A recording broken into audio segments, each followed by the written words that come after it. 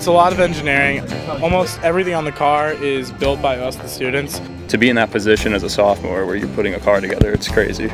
We all split up as a group, so there's different team leaders. There's the engine team, the control, the driver's controls, drivetrain, electrical, aero, chassis. Gotta dress up and all this stuff, make sure everything's strapped up the way it's supposed to, throw the helmet on. Once it's jumped, it's ready to go. You know, he's got his foot on the throttle, uh, clutch engaged, and then everybody clears and he's off. Today's about as wide open as we've, as we've had it uh, so far.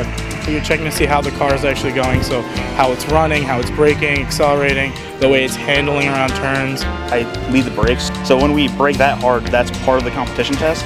Seeing it being able to lock up all four wheels and stop at such a short distance, that feels like amazing. Like I'm on cloud nine when I see that. Right on!